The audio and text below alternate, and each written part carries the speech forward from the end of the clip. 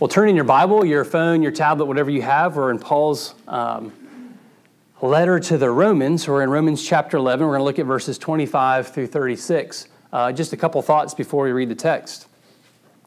Number one, again, Paul is writing to Gentile Christians in the church. That's the audience here in chapter 11. And then the second thing, as I mentioned earlier, uh, chapter 11 ends the, the, really the theological section of Paul's letter to the Romans. Chapters 1 through 11, the, the, the theology of, of Romans.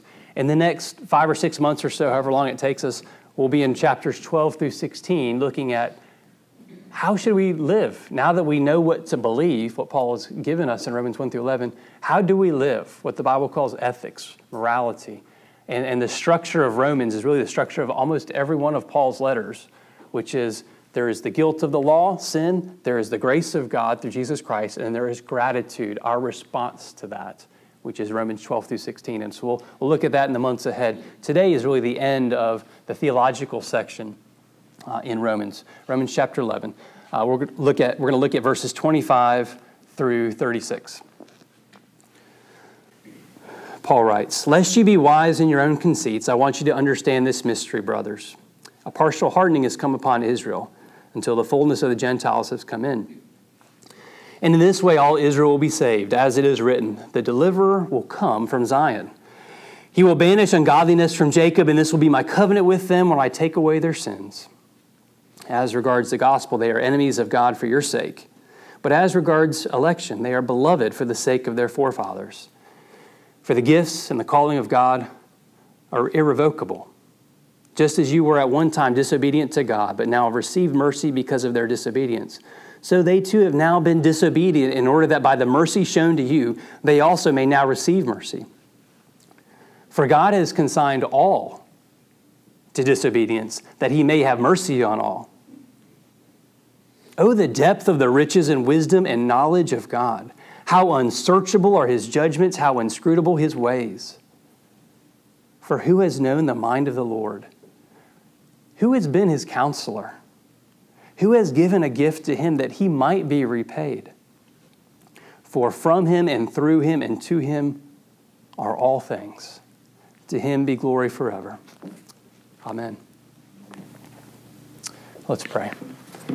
Heavenly Father, we thank you for these words that the Apostle Paul wrote under the inspiration of your Holy Spirit 2,000 years ago. May your Holy Spirit speak to us now. We pray in Christ's name. Amen.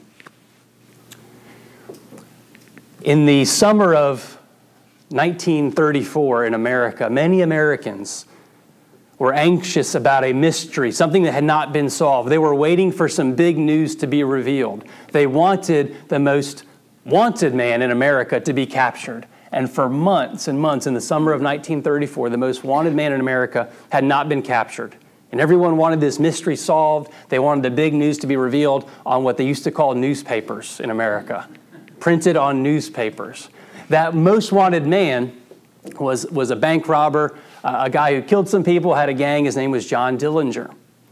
And so the feds came up with a plan. We got to find this guy. We got to get rid of John Dillinger. He's the most wanted man in America. He had escaped from prison. He was on the run. He had escaped from a prison in Indiana.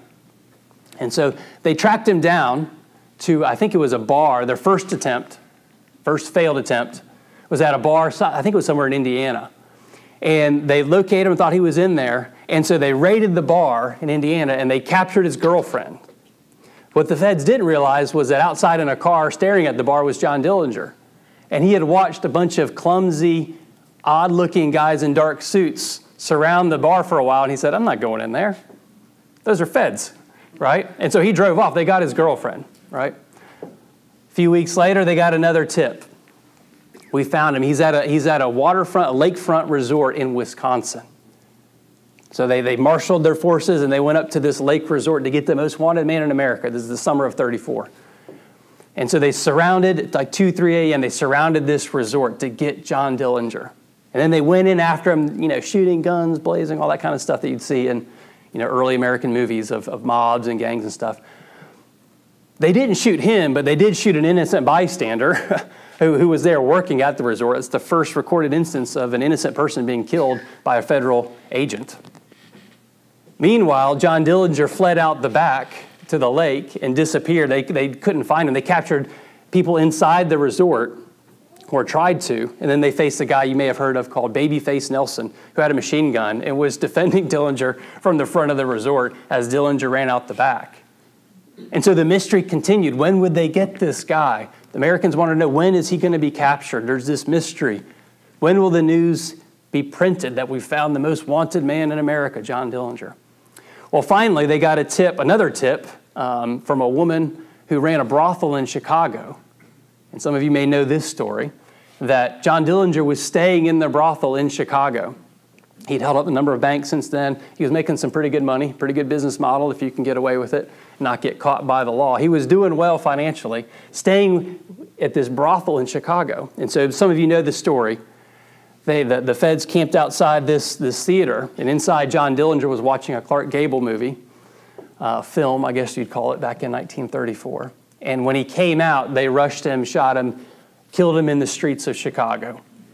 The most wanted man in America was finally captured. They finally killed him. He was finally done. His career of bank robbery and, and mayhem and violence was over in July of 1934. Well, for many Americans, millions of Americans, the big news finally hit the newspapers. The mystery was solved. They found him. They've been looking for him for months. The mystery was solved. The news was fit to print. They had solved it. And now the papers of America were filled with the headline Dillinger killed in Chicago outside the Biograph Theater in July of 34. Big news hit America. As we think about Romans 11, that's really the, the, the theme, the opening theme of what Paul is saying. He's saying, I'm going to reveal something big to you. A mystery has been given to me, the, the, the, the mystery has been revealed and given to me, and I'm going to tell it to you. I'm going to put into print the news of what God is doing because you didn't know it before. That's what Paul is saying. Look at verse 25. He says, I want you to understand this mystery. I'm telling you something, he says, that you did not know before. 20 times the Apostle Paul in his writings will use that word mystery. It only occurs once in the Gospels.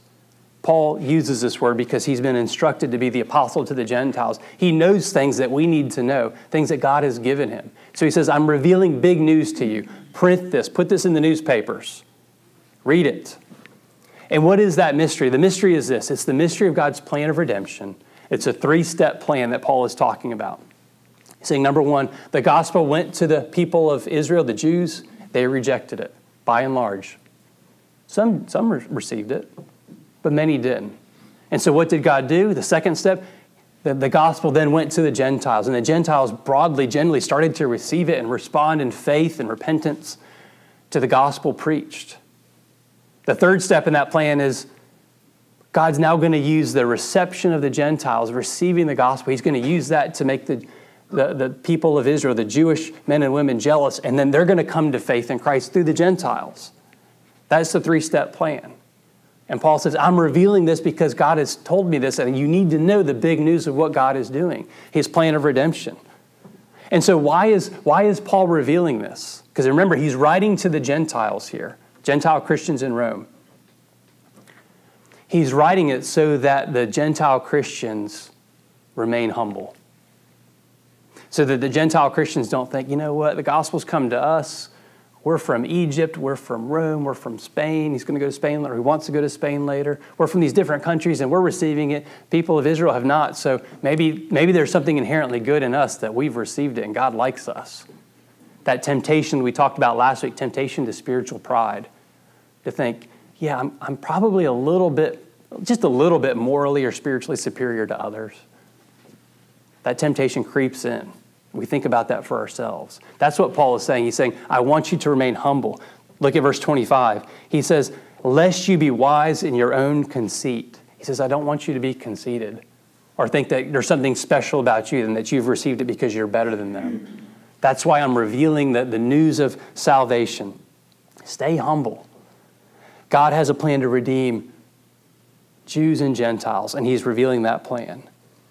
As, before we get into the, the, the, meat of the text here, I want to spend two minutes on, on two words that, if, as you read this, you may think, what is, what is Paul saying here? What is the Apostle Paul saying? Because he said, I'm going to use the Gentiles to share the gospel so that all Israel might be saved. So I want to spend two minutes on those two words, all Israel, because that's, if, if, if let me just say this if you went to seminary and you don't need to, you, you would read books and volumes on those two words. What does that mean? What does all Israel mean? Does it mean that every single Israelite ever is going to come to faith in Christ? Is that what it means? Does it mean the state of Israel today is coming to faith in Christ? Or is it, as some um, reformer, someone like even John Calvin said, this is referring to Jews and Gentiles, spiritual Israel? Is that what it's saying? Because Paul uses that language in Galatians 6. If you read Galatians 6, he talks about Israel in a spiritual sense. So, what is Paul saying here? I'll just say there's a lot of disagreement, so it's hard to say. Here's what I think he's saying, and so that we understand the meaning of the text here. I think what Paul is saying is this all Israel. The context is key. From, from Romans 9 through Romans 11, Paul uses the word, up until this time, uses the word Israel 10 times. Every single time it's referring to ethnic Jews, men and women. So I think that's the context. He's referring to ethnic Jews, men and women. Paul had no conception, the Apostle Paul had no conception of the state of Israel as we know it today. That's, that's off the books. That's not even an option to interpret it. So, what does it mean? Well, look at verse 25. Verse 25 talks about the fullness of the Gentiles coming to faith in Jesus Christ. If you're a Gentile this morning, I am. That, that means you. The fullness of the Gentiles means all of the Gentiles throughout history that are coming to faith in Jesus Christ. People like me maybe people like you. And so when Paul says all of Israel, all Israel, those two words, I believe that's a parallel statement to the fullness of the Gentiles, means the fullness of Israel, meaning all of the elect Jewish men and women throughout history that will come to faith in Jesus Christ. Throughout history. So, all Israel, as I interpret it, parallels the fullness of the Gentiles throughout history, parallels all Israel throughout history. That's how I look at it. And, and one reason, another reason I say that, besides the context, is this. Look at this reference here from Isaiah 59. It's a combination of Isaiah 59 and Isaiah 27 in, in your Bible. He says, The deliverer will come from Zion, that, that text. He will banish ungodliness from Jacob, and they will be my covenant with them when I take away their sins. What does that refer to? It's from Isaiah 59 and Isaiah 27, maybe an allusion to Jeremiah 31, the new covenant but it's primarily Isaiah 59 and 27. It means when Christ comes to Zion and dies, he's going to banish sin and ungodliness. He's going to deal with it at the cross.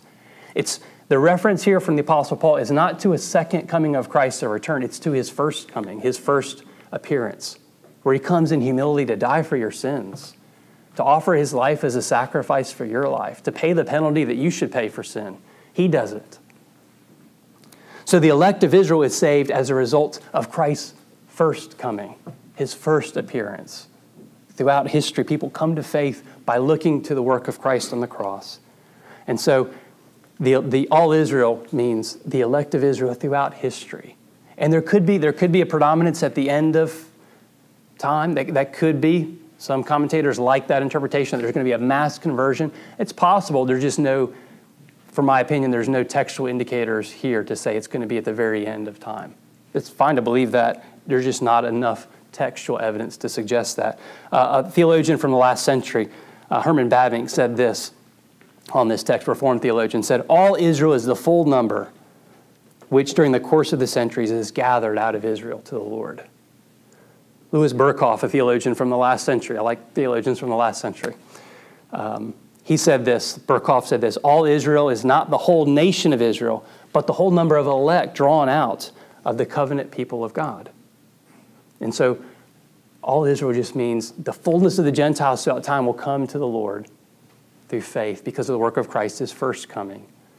All of Israel means the elect of Israel. Those people that are ethnic Jews will come to faith in Christ throughout time. That's what that means. So, before we move on, let's just stop for a second and make sure we understand what we're seeing here. Paul is saying, I'm revealing a mystery, something you didn't know. It's big news.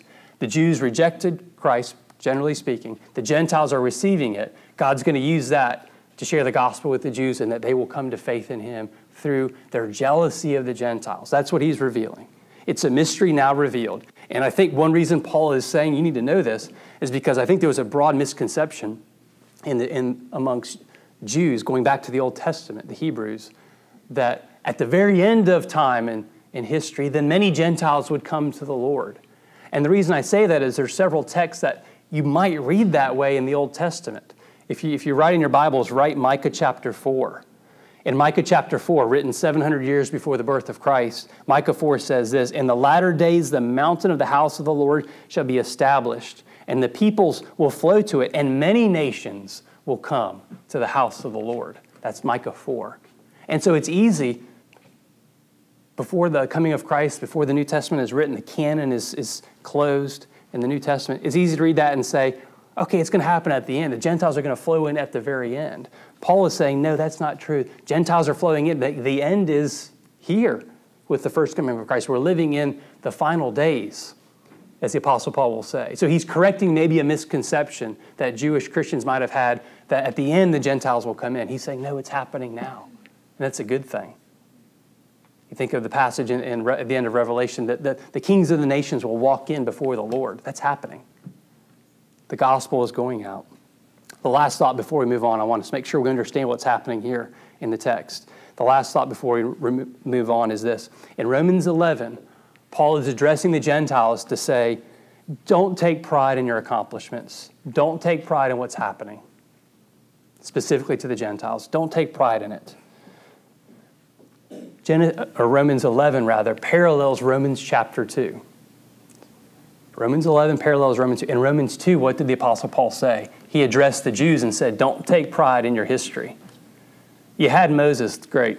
You had the patriarchs, Abraham, Isaac, Jacob, that's great. You had David, mostly good. You had all those things. You had the Ten Commandments. You had all those things. Don't take pride in it. So Romans 11 parallels Romans 2. Romans 11 says Gentiles don't have pride. Romans 2 says Jews don't have pride. The only thing you can boast about is the mercy of God demonstrated in Jesus Christ for you. Because God sent his son to die for you. You did not deserve it. I did not deserve it. I will never pay God back for that.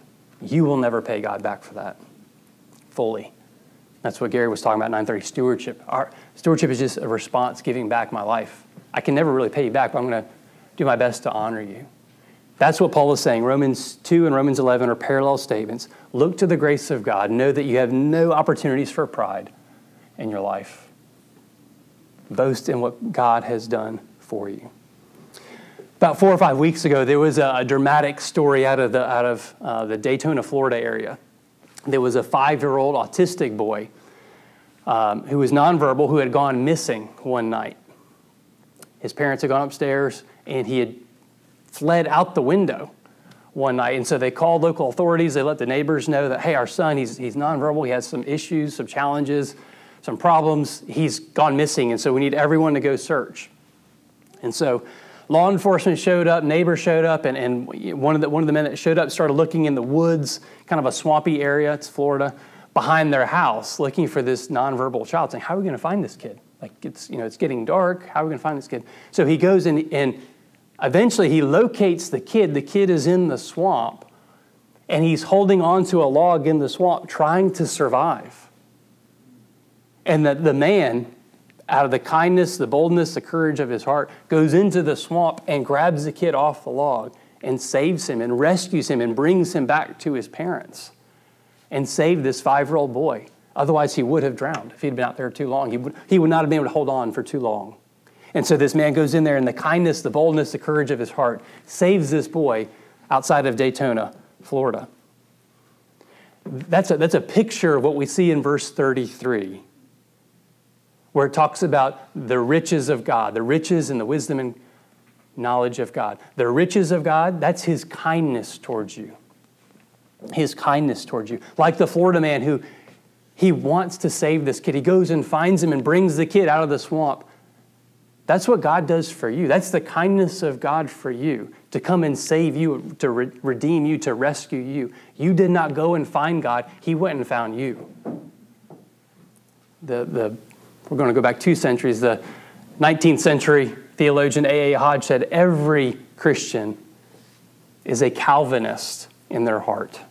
They, and what that means is they know that God saved them. God did the work. Forget the Calvinist language. It just means God's sovereignty and salvation. Every Christian knows that. We read a story like the story from Florida, and we like to associate with the man who went in the swamp and saved a kid. I'm like, well, that's probably what I would do. I'm the hero of that story, right? Maybe that's how you would read that story. I, I would do that. I'm the hero. No, in those stories, you and I are like the five year old nonverbal kid in the swamp who needs to be rescued. And that's what God does. He comes to you in the swamp of your life, sin and death, and rescues you. You're not the guy that goes and saves. God's the guy that goes and saves. That's the kindness, the riches of God demonstrated to you. Because as, as, Paul says here, look at verse 32. You had no hope, you had no future, you were facing spiritual death. He says in verse 32 God has consigned all to disobedience that he might have mercy on all. That word consigned, you could translate that imprisoned.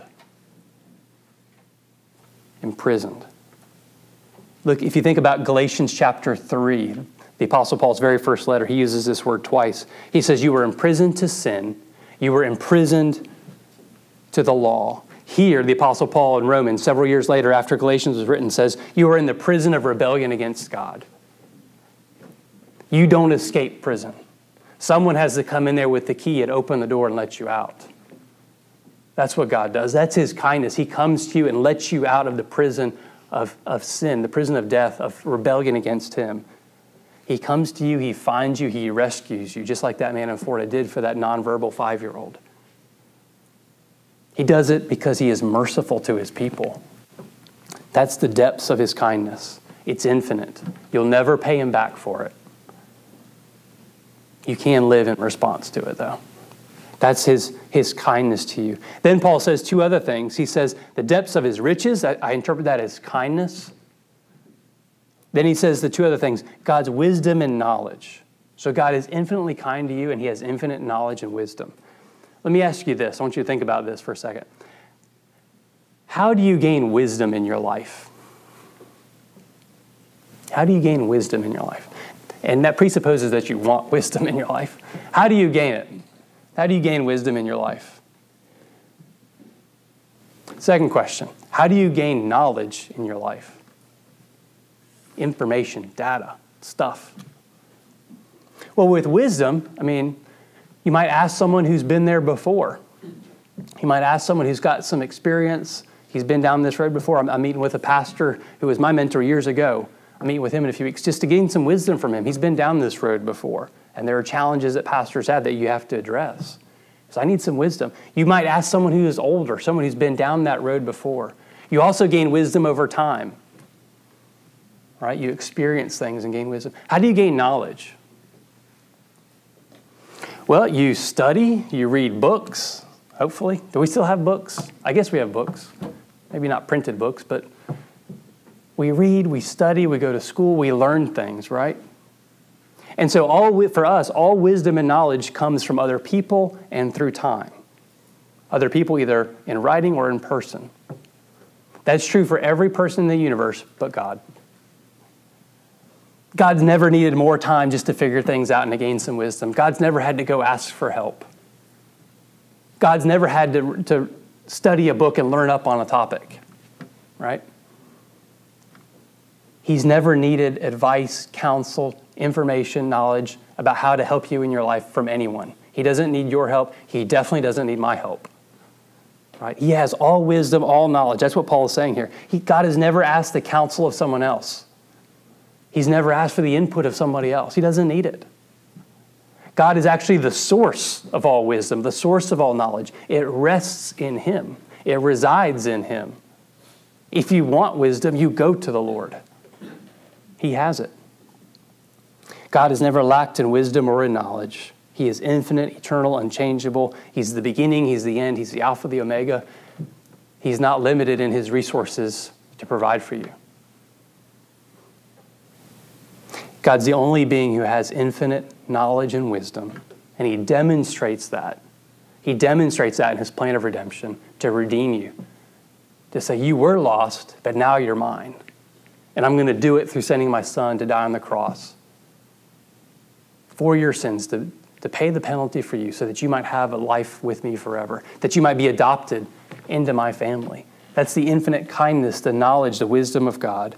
He sends the Son to the cross to die for you. Christ dies, rises again for your justification so that you might be declared right with God based on what Christ has done, not what you can do. That's the wisdom, the knowledge, the kindness of God. This past summer, we, you know, we took our uh, vacation. We went out west and we were traveling. And one of the unforgettable moments of our trip, which we weren't expecting, was we were traveling out and we, we camped out in a large national forest. Um, this was not a memory we planned to make or expected to make, but I think we can laugh about it now. Um, we can laugh about it now, it's true. We were, we were camping out, so we had a tent set up. There's a little bit, a little bit of some bugs. We had a campfire going, and we were enjoying it. We're, you know, we're traveling out west. We're going to go out to Yellowstone, Grand Tetons, all that kind of stuff. So we had the tent set up. We had the fire going. It was great. And it started to rain a little bit. So thought, yeah, it's getting late. We'll just get in the tent and kind of get to bed early. We've got a big day of driving, driving west all day. We got in the tent, and um, it wasn't just a light shower. We're surrounded by trees. We're in the middle of nowhere. It wasn't a light shower, it was one of the heaviest thunderstorms we've ever been through. We're in a little two person tent in the middle of nowhere. And it's a reminder of the power of nature when you're in a little tent and lightning and thunder is all around you and you're surrounded by trees and you realize we're kind of the weak link here, right? Like we're the, we're the weak people here. Like we, we got to get through this. And so there's lightning, it's, I mean, and the thunder is just all around us, I mean, just kind of shaking us. And it leads to a sense of awe and wonder about the power of creation. It also leads you to a sense of some questions, right? I think the, one of the first questions I had was about 1 or 2 a.m., which was, Do you think we should just go find a hotel? That was the first question. The second question I didn't really ask Emily, but I thought to myself was, Will a tree fall on our tent? had that thought because there's that one time where the, it was pretty bad. The other question was, when will we ever get to sleep? Because not only is it not dark because of the constant lightning, I mean, this was a heavy summer thunderstorm, but it was so loud. And so we saw the power of nature, the wonder of nature, which kept us up most of the night, but also led to questions. We had a lot of questions in the midst of that storm. That's what we see here in the, in the final verses of our text. Paul has showed us the power of God and the plan of redemption. It leads us to all, it leads us to wonder at God's power. It also leads to questions that we might have. And in order for the Apostle Paul to deal with our questions, he submits some questions to you, to his audience, to the people listening. He submits questions to you to humble us and to exalt God. Here are the questions Who has known the mind of the Lord? Who's known his mind? Who's been his counselor? Both of those are from Isaiah 40, verse 13. Who's known God's mind? Have you known it? Has God come to you and said, hey, hey, Ben, I need some counsel here? No. That's the last thing he's going to do. Third question Who has given a gift to God that he might be repaid? That's, that goes back to Job 41. Remember Job, the story of Job? Rich man, God removes everything but his health. And Job has questions. He has some poor friends that don't help. And at the end of it, Job's wanting some answers from God. And God says, Why don't you listen for a little bit, Job? I've got questions for you. Where were you when I founded the universe? Did I ask your opinion on that, Job? Job, you should listen more. That's where this is from. Job, have you given me anything that I owe you? These are the questions that, that Paul gives to us as we sense the awe and the wonder of God's powerful plan of redemption. He gives us these questions. Who are, who are you and I to give God advice? on his plan of redemption? When has God needed our counsel? When has God needed us to step in and help him? What, what do we owe? What does God owe us? Nothing. He doesn't have to give us anything. Everything we have is grace given to us freely. That's what the Apostle Paul tells us. And these questions are not to beat us up, they're to humble us and to exalt God so that we trust Him more and realize we trust in our own understanding, our own wisdom, our own knowledge too much. And we should trust in His. When we think about these questions, as, as Paul finishes up Romans 11, again, he's finishing up his, his theology of Romans. We think about the power of God. He doesn't need my help, He doesn't need my counsel. He doesn't owe me anything. That should lead you to worship because you realize the power of God, the wisdom of God. It should lead you to glorify God. And that's what Paul does here. This final verse is a doxology, the final verse of Romans 11. Doxology just means a word of glory. Doxa in Greek means glory, logos means word. Doxology is a word of glory to God. For from him and through him and to him are all things. He gets the glory for everything. Your redemption is from God, the Father. It's his plan. For God so loved the world, he gave his only begotten Son. It is through the work of Jesus Christ and it is applied to you by the Holy Spirit. He is the source of your salvation. He is the sustainer of your redemption. He is the, the goal, the ultimate goal of your redemption is to be in His presence. It's not to have a happy life with health and finances all taken care of. That's not the goal of your redemption. All that will be gone one day. You'll be in His presence. That's the goal of it. It should lead us to worship. And that's what we celebrate as we come to the Lord's table this morning. We celebrate His work of redemption. Everything is from Him. We're sustained through Him. Everything goes back to Him at the end of the day. Who has given a gift to God that He should be repaid? We've not given a gift. God has given the ultimate gift to you the, the life, the death of His Son, Jesus Christ on the cross. We just repay Him with gratitude, with worship. And that's what the Lord's Supper takes us to. It takes us to the death of Christ, where we realize we have everything we need through the sacrificial death of Christ. And so think about that. Think about God's power, His greatness in the plan of salvation, the plan of redemption, the death of Christ. Think about that this morning as we come to the Lord's table. Let's pray.